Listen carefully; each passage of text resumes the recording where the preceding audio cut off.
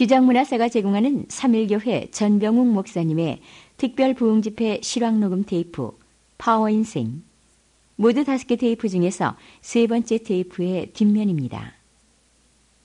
앞면에서 계속하여 고린도후서 4장 7절로 12절 말씀을 가지고 3일교회 전병욱 목사님이 질그릇 속에 있는 보화라는 제목으로 설교한 말씀을 들으시겠습니다. 크고 놀라운 은혜 받으시기 바랍니다. 10년 단위로 하나님께서 한 번 치시고 또 한 번 치시고 또 한 번 치시더라고요. 선명에 그 오재식 회장님이 계시지 않습니까? 그분이 평양 출신이라서 저하고 자주 만나게 됩니다. 물어봤어요. 그때 그 총회를 했던 서문박 교회가 어디 있습니까? 그랬더니 그분이 그러더라고요. 자기 가봤더니만 김일성 광장이 됐답니다. 흔적도 없대 지금 흔적도. 김일성 광장이 돼가지고 그냥 도로 도로가 돼버렸대 평평한 아스팔트가. 하나님께서 이렇게 철저하게 시인판하시는 겁니다. 그래서 저희 교회는 작년부터 9월 1일부터 9월 10일까지 금식하면서 기도회를 갔습니다. 기도회가 뭐냐? 우리 민족의 죄악을 넣고 느헤미야 1장에 보면은 우리 아비와 우리 죄를 용서해 주십시오. 그런 구절이 나옵니다. 젊은이들 신사참비 무슨 책임이 있어요? 그렇지 않아요. 우리 아비의 죄악까지 철저하게 회개했어요. 열흘 동안 회개를 어떻게 했는지 아십니까? 매뉴얼을 만들었습니다. 책자로. 한 100페이지 정도 되는 거. 일제시대부터 시작해서 지금까지 우리 민족이 범했던 죄악들 있지 않습니까?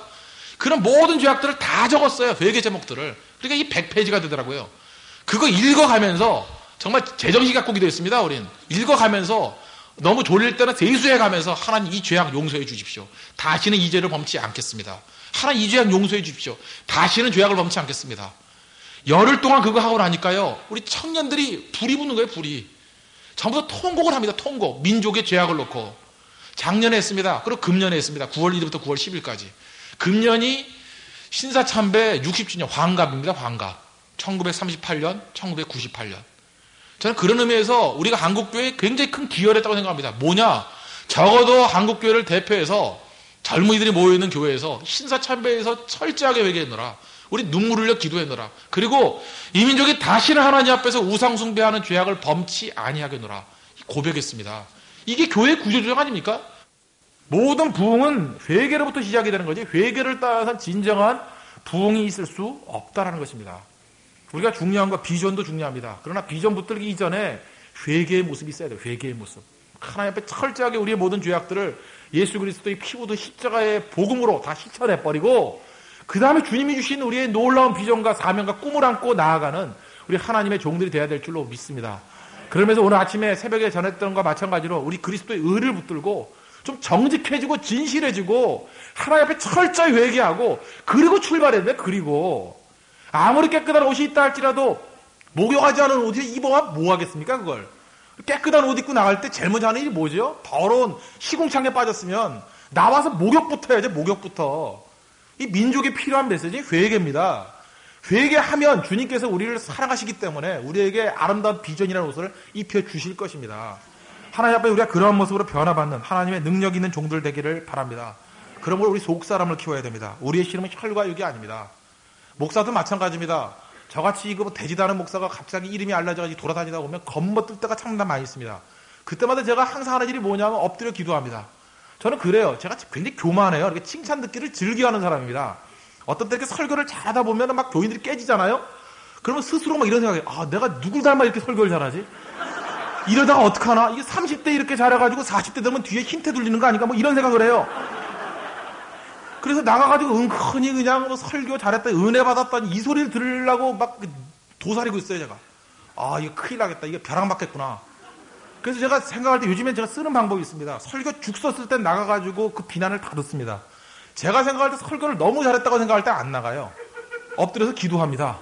아, 기도하면서 주님, 이, 이 유혹을 이기게 해 주시옵소서. 저로서 그 솔직히 말해서 그 엄청난 발버둥에 발버둥. 그거 안 하면 저 감당을 못하겠어요. 감당을. 그 저러면서 기도해 주십시오. 저는 하여튼 이 교만을 이걸 감당을 못했어요. 그렇게 하나님께 터졌으면서도 저는 그랬거든요. 제 교만의 싹은 예전에 다 죽었어. 아 정말에 제가 다 죽은 줄 알았어요. 제가 어려움 당할 때 그런 기도를 했어요. 제가 생각할 때 이게 밑바닥이라고 생각했거든요. 그래서 하나님 이게 밑바닥이죠. 근데 하나님이 더 낮추시더라고요. 또 물었어요. 하나님 이게 바닥이지요? 하나님 더 낮추더라고요. 또 물었어요. 하나님 이제 더 없지요? 이 지하 도대체 몇 층이에요? 하나님께 거기까지 낮추다가 나중에는 묻지도 않았어요. 그냥 빠질려면 빠져요. 하나님 앞에 그렇게 제가 얻어 터진 사람입니다. 얻어 터진 사람. 그런데 그 수렁까지 내려갔던 사람이 올라오니까 다시 또 교만해져요. 교만해져가지고. 내가 잘난 줄 알고. 저는 지금도 확신합니다. 하나님께서 뭐 촛대 옮겨가 버리면 아무것도 아닌 존재 아닙니까? 하나님 앞에 우리 그러한 마음이 있어야 됩니다. 겸손한 마음. 주님 아니면 안 됩니다 하는 거. 그런 의미에서 우리가 하나님 앞에서 계속해서 쓰임받는 비결이 뭐냐? 저는 겸손이라고 생각합니다. 우리 교인들에게 저는, 우리는 뭐 다 교만한 사람들이기 때문에 일주일에 한 번씩 겸손 집회를 갔습니다. 그래서 금요일은 겸손 집회예요. 다 엎드려가지고 우리 아무것도 아니라고. 그죠? 아무것도 아니라고. 그래서 비난해주고 서로 낮출 줄 아는. 그래서 우리 속 사람이 주님만을 항상 향할 수 있는 그런 거룩한 하나님의 종들 되기를 바랍니다.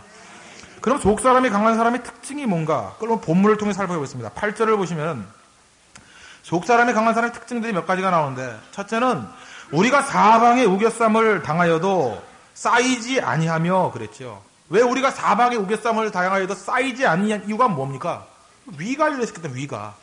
지금부터 40년 전에 그 서베를린이 그 포, 봉쇄되지 않았습니까? 그 이제 동독과 그 소련에 의해서 이게 봉쇄되지 않았습니까? 그때마다 이 서방 측에서 2분마다 한 대씩 비행기를 띄웠죠.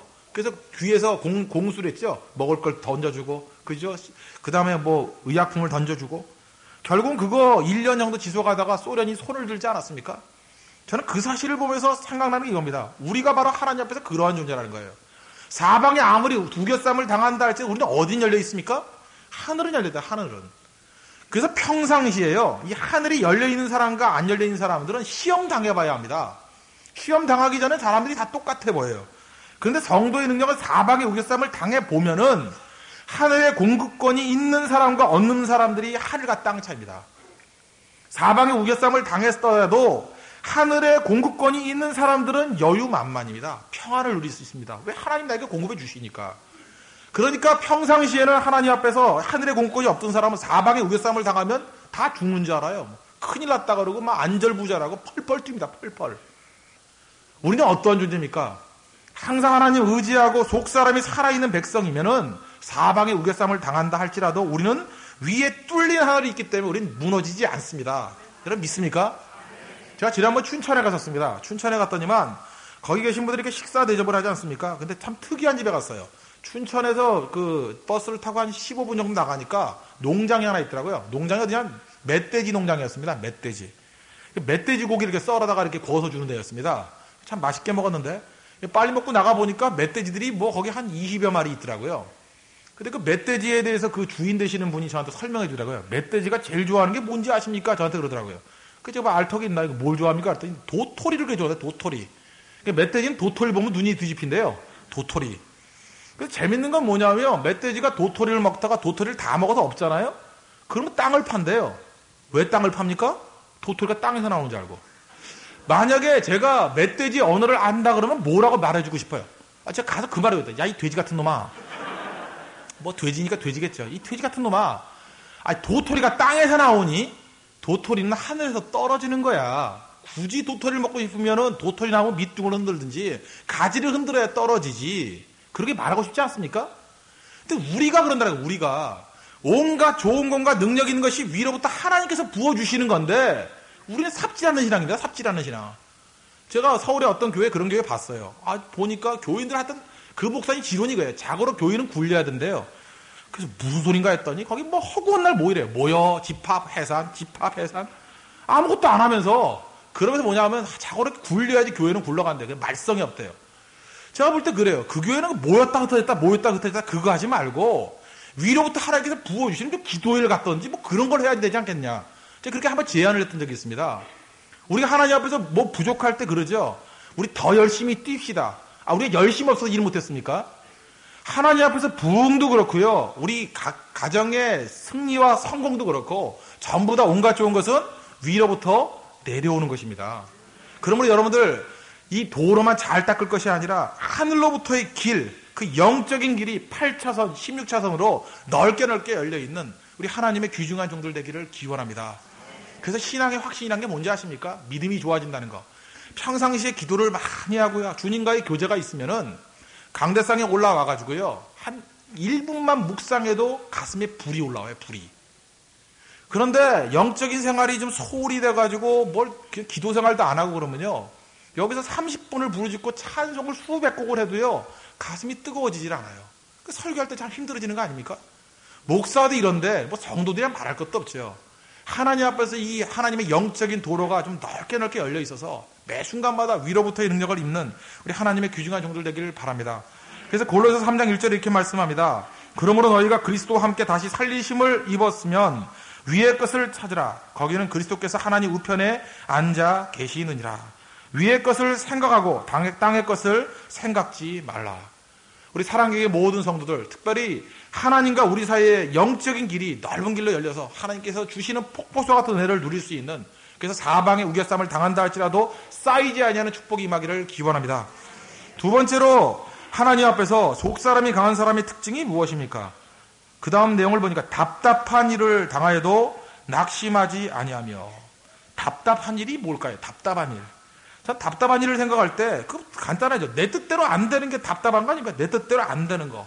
뭐 나이는 차도 결혼을 해야 되겠는데 뭐 잘 안 되고 그죠? 뭐 취직은 해야겠는데 뭐 잘 안 되고 뭐 이런 거 아니에요? 내가 하나님께 충성했는데 뭐 열매는 안 드러나고 제가 성경을 보니까 누가 제일 답답했을까 생각해보니까 사도행전 16장에 나오는 바울과 신라였던 것 같아요. 바울과 신라가 빌립보에 가가지고 복음을 증거합니다. 그럴 때 귀신 들린 여종이 하나 났어요. 그래서 하나님의 성령의 능력으로 말하면 귀신을 쫓아내버렸죠. 생각을 해보세요. 전도지에 가가지고 전도가 잘 안 됐는데 귀신을 쫓아냈습니다. 할렐루야 아멘 아니에요? 하나님 우리에게 권능을 주셨구나. 드디어 하나님께서 전도의 문을 열어주셨구나. 이 빌립보에 큰 부흥이 있겠구나. 그런 마음 안 먹었겠습니까? 그런데 이게 웬일입니까? 부흥은 커녕 귀, 여종의 귀신을 쫓아냈다고 감옥에 잡혀 들어갑니다. 뭐가 좀 꼬이는 거죠. 답답하잖아요. 하나님의 능력 가운데 길이 열릴 줄 알았는데 열리기는 커녕 거의 길이 막히는 쪽으로 가버립니다. 우리 인생 살다 보면 그럴 때가 있어요. 분명히 하나님 뜻대로 나가는데 뭐가 막혀버려요. 저도 그랬습니다. 저도. 제가 전에 있던 교회에서 뭐 열심히 뛰었습니다. 충성을 다했습니다. 뭐 젊은이들이 막 벌떼같이 몰려들기 시작합니다. 하나님께서 나를 통해서 드디어 능력을 발휘하기 시작하는구나. 이렇게 가다가 이제 뭐 청년들이 2천명, 3천명 모이면 어떡할까? 밤에 잠잘 때 그런 만 꿈꿨거든요? 근데 어느 날 갑자기 길이 열리기는 커녕 교회에서 쫓겨나는 일이 벌어요. 쫓겨나는 일이. 이거 얼마나 답답해요. 뭐 감옥에 들어가는 거랑 별로 다른 거 없었죠. 비슷한 상황이었어요. 바울과 신라가 그때 감옥 속에서 뭘 했죠? 기도와 찬송했습니다. 이게 굉장히 중요한 거예요. 우리 하나님 백성들 어떤 막힌 길이 있으면요. 하나님께서 나에게 더 충만하게 기도하고 찬송하라고 그 자리에 세워뒀다. 이렇게 생각하면 됩니다. 서두르지 마십시오. 장벽이 있습니까? 기도하십시오. 뚫어집니다. 여러분 장벽이 있습니까? 그 있는 자리에서 찬송하십시오. 더 앞서지 말고요. 하나님의 다 뜻이 있기 때문에 막아두는 것입니다. 뜻이 있기 때문에. 그래서 그 안에서 기도가 충만해지고 찬송에 충만해지니까 어떤 일이 벌어집니까? 옥문이 열려버렸어요. 옥문이. 그 사건을 통해서 빌립보 간수, 감옥의 간수가 회심하게 됐습니다. 그때 나온 게 사도행전 16장 31절 아니에요. 주 예수를 믿으라. 그러면 너와 내 집이 구원을 얻으리라. 그래서 성경에 보면 빌립보에서의 사건이 가장 놀라운 이적의 사건으로 나타난 거 아닙니까? 이게 바로 하나님 백성들의 능력이라는 거예요. 여러분 답답한 일 있으십니까? 기도로 뚫으십시오. 기도로. 여러분 답답한 일 있습니까? 찬송할 때 하나님의 놀라운 능력이 나타나게 된다는 것입니다. 저희 교회는 우리 5월 달부터 철학기도를 시작합니다. 우리 교회는 앉은 자리가 600석밖에 안 되기 때문에 철학기도 오면 600명이 다 차버립니다. 그래서 앉을 자리가 없어요. 그래서 매, 늦게 오면 밖에 나가서 기도하다가 춥다고 집에 가버리고 뭐 이런 사람이 많거든요. 근데 저희는 철야기도 할 때 느꼈던 게 이거예요. 처음부 답답한 제목들을 다 갖고 와요. 다 갖고 오는데 11시부터 4시까지 5시간 동안에 스트레이트로 열심히 기도합니다. 그러고 난 다음에 주일에 우리는 감사금 드릴 때 제가 그 헌금 제목 읽어주거든요. 읽어줄 때 하나님 이런 답답한 일이 있었는데 기도로 말미암아 뚫렸습니다. 역전이 됐습니다. 제사 드리는 거 반대하는 집안이 있었는데 오히려 기도하고 나갔더니만 이제는 추도 예배로 변화가 됐습니다. 그런 일들이 막 기적들이 속출하고 있다는 기적들이. 그런 의미에서 여러분들 우리의 삶 가운데 답답하면서 하나님의 영광이 나타나는 비결이 어디에 있느냐? 하나님 앞에서 이 빌립보 감옥 속에 있던 바울과 신라와 마찬가지로 기도와 찬송으로 뚫을 수 있는 우리 권능의 백성들 되기를 기원합니다. 세 번째로 우리는 어떻게 됩니까? 어, 세 번째 속사람이 강건한 사람의 특징이 뭐냐? 핍박을 받아도 버림받되지 아니하며 그랬죠. 핍박을 받아도 버림받되지 아니하며. 그러니까 공격을 받아도 그게 아무것도 아니라는 거예요. 공격을 받아 받을 받을 정도로 우리는 질그릇으로 약한 그릇이라는 거예요. 그러나 우리는 그렇게 약하지만은 않다라는 또 이상의 역설이 나온다는 거예요. 왜 그렇습니까? 여러분 한 예를 들어보면 이렇습니다. 이게 종이가 있습니다. 종이. 우리 어렸을 때 보면 이 종이를 갖고 어떤 사람이 손가락으로 뚫는 애 있죠. 얍하고. 그거 안 해봤습니까? 저만 해봤는가 보네요. 저 이거 많이 했거든요. 뭐 볼펜으로 뚫렸다, 뭐 두 장 뚫었다 이런 얘기 나오잖아요. 이 종이 한 장 강합니까? 약합니까? 약하죠. 이거 볼펜으로 찌르면 뭐 뚫리는 거죠. 이거 손가락으로 뚫리고 이거 아무것도 아니에요. 아무것도. 그러나 거꾸로 봅시다. 이 종이 한 장을 빨간 벽돌 뒤에다가 붙여놓고 뚫어 보십시오. 어떤 일이 벌어집니까? 손가락이 부러지죠. 손가락이. 그죠? 우리는 종이 한 장과 같이 연약한 질그릇입니다. 그러나 우리 뒤엔 누가 계십니까? 살아계신 하나님이 계십니다. 빨간 벽돌 같은 하나님이 계신다는 거예요. 그러므로 겉으로 볼 땐 종이 한 장 아무것도 아닌 존재야 그러지만 그 안에 예수님을 모시고 있는 백성들은 강력한 존재입니다. 강력한 존재. 근데 하나님 없는 백성들은 무슨 싸움을 벌이느냐? 나는 종이 두 장짜리 두께야? 그런다고요. 두 장짜리 송곳으로 뚫으면 되죠, 뭐. 나는 열 장짜리 종이야? 내가 얼마나 뼈대 있는 가문 출신인지 알아? 내가 명문대 출신이고 돈도 있고 없는 게 없어. 미세까지 다 갖췄어. 그런다고요. 아, 열 장짜리 맞자 그 마분지죠. 뭐 별거예요. 종인 종이죠. 뚫으면 다 뚫린다고요. 우리의 싸움은요, 내가 몇 장짜리 종이 겹쳐놨냐 그 싸움이 아닙니다. 내 안에 누가 계시느냐, 내 안에. 내 뒤에 누가 계시냐에 따라서 우리 인생이 달라질 수 있다는 것입니다. 그러므로 하나님만 의지하는 백성들은 핍박받아도 내 뒤에 빨간 벽돌보다 더 강력한 전능하신 하나님이 계신다는 것을 기억하시고 담대히 서 있는 우리 하나님의 종들 되기를 바랍니다. 그 저는 지금도 그렇습니다. 뭐 제 앞에 있는 뭐 대적들이 있고 뭐 방해하는 사람이 있을 때 솔직히 말해서 별로 겁이 안 나요. 왜 그러냐? 내 안에 예수님께서 계시기 때문에. 문제 있으면 또 기도하면 되니까 살아계신 예수님이 내 대신 싸워주실 것이기 때문에. 사도 바울이 뭐라 그럽니까? 하나님이 우리를 위하시면 누가 우리를 대적하리요. 질그릇입니다. 그러나 뒤에 예수님이 계신 강력한 질그릇이라는 거 기억하시고 우리 예수님만 의지하는 하나님의 거룩한 백성들 되기를 바랍니다. 그 다음 네 번째로 보면은 거꾸로 트림을 당하여도 망하지 아니하고 그랬죠. 거꾸로 트림을 당하여도 넘어지긴 넘어진다는 것입니다. 그러나 넘어진 상태로 머물러 있지 않다라는 거예요. 저는 이것을 갖다 오뚜기 이론이라고 생각합니다. 오뚜기 이론. 내 안에 하나님의 말씀이 있기만 하면요 넘어져도 일어나요. 저는 우리 교인들 훈련시킬 때 그렇게 생각합니다. 예수 믿으면 시험이 없습니다. 예수 믿으면 환란이 없습니다. 이건 거짓말입니다. 이건 명백한 거짓말이에요. 예수 믿는데 왜 시험이 없습니까? 예수 믿는데 왜 환란이 없어요? 아, 전 예수 못 믿어가지고 환란이 있었나요? 저도 환란이 다 있었어요. 그래서 환란이 없다고 가르치는 건 이건 복음이 아니에요. 우리는 환란이 있다 할지라도 일어서게 만드는 오뚜기로 만들어야 돼요. 오뚜기로. 그 성도들 가운데 어떻게 만드느냐? 그 중심에 중심에 예수님의 말씀이 들어가면 넘어져도 일어나더라는 거예요. 그래서 제가 물어보겠습니다. 오뚜기가 넘어지는 거 걱정합니까? 오뚜기가 넘어지는 거 고민하는 오뚜기 봤어요? 오뚜기입니까 그게? 본질상 오뚜기가 아니에요. 오뚜기 넘어졌다 일어나는 게 재밌잖아요. 잠깐만 쓰러뜨리잖아요. 아 또 일어났네 또 일어났네. 그래서 막 집어 던지잖아요. 던져도 일어납니다. 막 그러는 거 아니에요? 오뚜기가 고민할 문제는 뭐지요? 막 집어 던지다가 가운데 붙어 있는 본드로 붙어 있는 그 추가 떨어질 때가 문제죠. 떨어지면 넘어졌다 못 일어나잖아요. 그러니까 오뚜기는 모든 정신을 집중해서 뭐만 집중하면 돼요? 내 가운데 붙어 있느냐?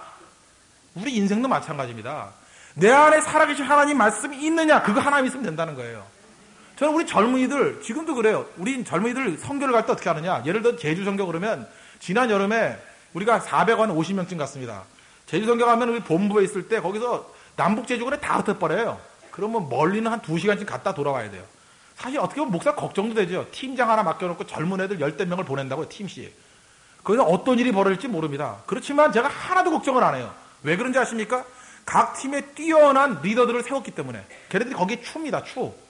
그 한 사람을 믿고 열 명을 붙여주는 거예요. 걔는 뭐 거의 생명 걸고 순교할 각오가 있는 사람들이에요. 그 한 사람을 보고. 또 하나, 사람 속에 들어간다면 그 안에 들어가 있는 예수님의 말씀을 믿는 겁니다, 말씀을. 어떤 환경과 도전이 온다 할지라도 그 안에 예수님의 말씀이 들어가면 넘어졌다가도 일어서더라고요. 어떠한 도전이 일어나도 일어서더라는 것입니다. 그리고 참된 신앙 훈련은 건 무엇입니까? 환란 없게 해달라 밤낮 그런 기도하는 기도가 아니라 하나님 내가 넘어진다 할지라도 일어설 수 있는 권능 허락해 주십시오. 말씀이 내 안에서 역사할 수 있도록 도와주시옵소서. 그게 참된 능력이라는 것입니다. 여러분들도 모두 다 말씀으로 무장함으로 말미암아 환경 신경 쓰는 인생이 아니라 주님과 동행하면 내가 어느 곳에 가든지 승리할 수 있다라는 그런 확신이 있는 우리 하나님의 거룩한 종들 되기를 바랍니다. 마지막으로 살필 문제가 옵니다. 고난이 이런 여러 가지 유익이 있는데 마지막 유익이 뭐냐? 고난은요 하나님의 영광을 드러내는 아름다움이 있다는 것입니다. 실제로 우리가 고난 당해야지 하나님 영광이 최고로 드러나 최고로 최고로. 그래서 4장 10절부터 11절까지를 보시면요. 우리가 항상 예수 죽인 것을 몸에 짊어지면 예수의 생명도 우리 몸에 나타나게 하려 함이라. 우리 산자가 항상 예수를 위하여 죽음에 넘김은 예수의 생명이 또한 우리 죽을 육체에 나타나게 하려 함이니라. 무슨 얘기입니까? 우리가 깨어질 때 주님의 영광이 최고로 드러나게 된다는 것입니다. 그러니까 고난은 두 가지를 보여준다는 거예요. 하나는 고난 당하면 인간이 얼마나 약한 뭐 존재인가 그거 깨닫습니다. 또 하나는 뭐예요? 그럼에도 불구하고 내 안에서 역사하실 하나님의 위대함이 얼마나 큰 것인가 그걸 또 한 가지 깨달을 수 있다는 것입니다. 여러분 한번 극적으로 이런 생각을 해봅시다. 우리가 어떤 금은 보화가 있는데 금은 보가 가장 극명하게 영광을 드러낼 때가 언제입니까? 그, 그릇, 그 금은 보가 들어있는 어떤 질그릇을 들고 가다가 어떤 사람이 돌에, 발에 걸려가서 턱 떨어뜨렸어요. 쨍그랑 하면서 질그릇이 깨지면서 막 오색 찰랑 금은 보가 막 흩어졌을 때 멋있지 않습니까? 안 멋있는가 보죠? 그릇이 아까워요? 아, 저 그런 게 참 멋있더라고요. 탁 넘어졌을 때 쨍 하면서 금은 보가 막 쏟아질 때. 하나님께서 바로 그런 걸 원하신다는 거예요. 우린 질그릇입니다. 근데 우리가 깨지는 순간에 하나님의 영광이 최고로 드러나게 최고로. 그래서 허든 테일러가 이런 얘기를 했습니다. 하나님께서 쓰신 사람들은 모두 연약한 사람들이다. 그런데 그들이 깨질 때에만 하나님의 위대 함이 드러나곤 하였다. 우리가 깨질 때 하나님의 영광이 드러납니다. 깨질 때. 제가 지난번에 우리 꼬마애가 초등학교 1학년입니다. 1학년이기 때문에 제가 학교 운동회를 한번 가봤어요. 운동회 하는 그런 거 있죠. 이게 바구니 두 개 이렇게 엎어놓고 그 종이를 살짝 붙여가지고 뭐공 던지면 이거 터져가지고 꽃 쏟아지는 거. 설명이 잘 안 됐습니까? 예, 그런 게 있잖아요. 이렇게 던지면 쏟아지는 거. 근데 어떤 아줌마가 그 하나 만들어 온 걸 얼마나 풀을 열심히 붙여놨는지 안만 던져도 안 깨져, 안 맞는데도. 그러니까 분위기 되게 썰렁하더라고요. 아니, 던져가지고 깨져가지고 꽃술이 막 쏟아져야지 애들이 박수치고 좋아하는데 어떤 아줌마가 무슨 강제 본드로 붙여놨는지 안만 해도 안 떠져요, 안만 해도. 뜯어가지고 뜯어낼라 그래도 안 떨어져요. 알고 봤더니 스카치 테이프로 붙여놨더라고요, 여기다가. 저는 그걸 보면서, 야, 우리가 인생이 이럴 수 있구나, 이럴 수. 하나님께서 우리가 시시때때로 깨지기를 원하세요, 깨지기를. 제가 우리 교회에서 설교를 할 때 우리 교인들이 은혜를 많이 받을 때가 있습니다. 언젠지 아십니까? 제가 설교하다가 울 때가 있어요. 지난 주간에 설교하다가 울었어요. 왜 우느냐면 설교를 하는데 처음부터 제 얘기더라고요. 아, 너무 내가 어떤 의미에서 좀 그 죄송한 마음도 있고 참 내가 이게 무슨 놈의 목사가 이 모양인가 쭉 얘기하다 보니 다 제 얘기예요. 그래서 설교다 울었어요. 용서해달라고 이게 다 내 얘기라고. 그때 교인들이 그렇게 좋아해요. 다 이상한 교인들이죠. 그러면서 제일 은혜를 많이 받았대요. 그때 나 느낀 게 뭐냐면 이런 겁니다. 아, 하나님 앞에서 이 말씀을 증거하는 사람도 자기 자신이 깨실 때 하나님 영광이 되고 교인들도 은혜를 받는구나. 그렇지 않습니까? 근데 우리는 무슨 싸움 벌이고 있습니까? 나는 질그릇인데 잘 안 깨지는 질그릇이야. 나는 본 차이나야. 맨날 이런 거 외치고 있잖아요. 그런 놈들은 그냥 망치를 박살낼 뻔해도 박살을. 그죠? 하나님 앞에 여러분들 내가 깨질 때, 내 연약함이 드러날 때 하나님의 최고의 영광이 드러난다는 거 잊지 맙시다. 그러면 우리는 어떤 존재입니까? 내 안에 그리스도의 보화가 있습니다. 시시때때로 깨져야 됩니다. 여기서 깨져서 주님밖에 없습니다. 여기서 깨져서 주님밖에 없습니다. 저는 그렇게 생각합니다. 제 모든 연약함들을 통해서 하나님 영광 받기를 원하십니다. 아, 저렇게 경건의 모양이 없는 목사를 하나님이 쓰시는구나. 그절 만나보고 난 다음에 저으로 위대한 사람 아무도 없어요. 뭐 하다못해 오 목사님도 설명할 길이 없으니까 조상 잘못하면 턱이야 뭐 이렇게 저한테 얘기하더라고요.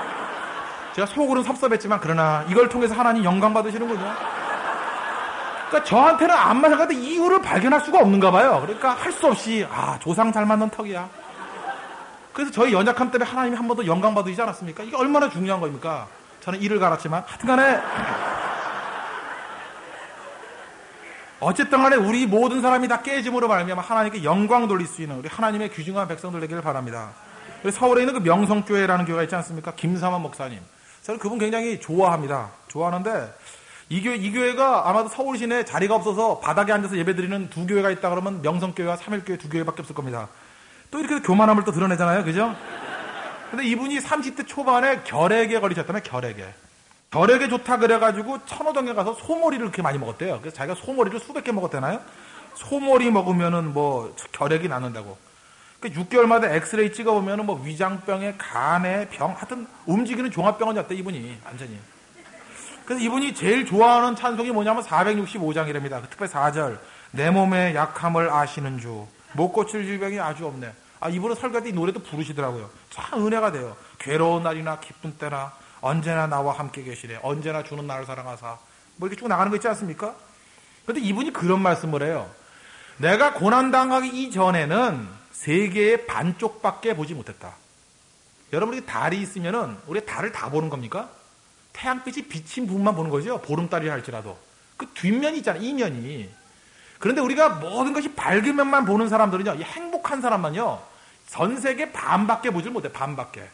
근데 내가 고난당하고 난 다음에 그 나머지 반쪽을 보게 되오느라. 그 저도 마찬가지인 것 같습니다. 제가 밤낮 행복하게 뭐 별 시험도 없이 살아갈 때는 인생이 뭐 비전이면 다 되는 줄 알았어요. 승승, 승리면 다 되는 줄 알았어요. 근데 제가 하나님 앞에 얻어 터지면서 어려움을 당하다 보니까 야, 이 어려운 사람, 어려움 당하는 사람의 아픔이 바로 이런 거구나. 깨닫게 되더라고요. 아, 이 소외된 사람의 아픔이 바로 이런 거구나. 병든 사람의 아픔이 바로 이런 거구나. 그렇게 이해가 되더라고요, 이해가. 하나님께서 여러분들에게 왜 고난을 주시는지 아십니까? 여러분의 시야를 넓히기 위해서입니다. 넓히기 위해서. 여러분 전 세계 많이 돌아다닌다고 시야 넓어지는 거 아닙니다. 그것도 중요한 거지만 하나님께서 우리에게 보여주는 게 뭐냐? 고난을 통해서요. 고난을 통해서 또 다른 사람들 겉에 보이지 않는 이면을 보여주시나 이면을. 그럼 깊이가 있는 거 아닙니까? 깊이가? 저 옛날에 제가 설교 들을 때 그 워런 위어스비 목사님의 그 책을 보니까 이런 얘기가 나오더라고요. 이 워런 위어스비 목사님께서 어떤 친구 목사님과 어떤 젊은 설교자가 하는 설교를 들었답니다. 듣고 난 다음에 이 위어스비 목사님이 그런 생각이 들대요. 뭔가 설교는 잘하는데 뭔가 좀 빠진 것 같더래요. 그 옆에 있는 친구 목사님한테 물었대요. 저 젊은 목사님 설교는 굉장히 잘하는 것 같아. 뭔가 빠진 것 같지 않아? 그랬더니만 그 친구 목사님이 그런 대답을 하시더래요. 저 젊은 목사님은 마음이 깨져야 돼. 마음이 깨져야 돼.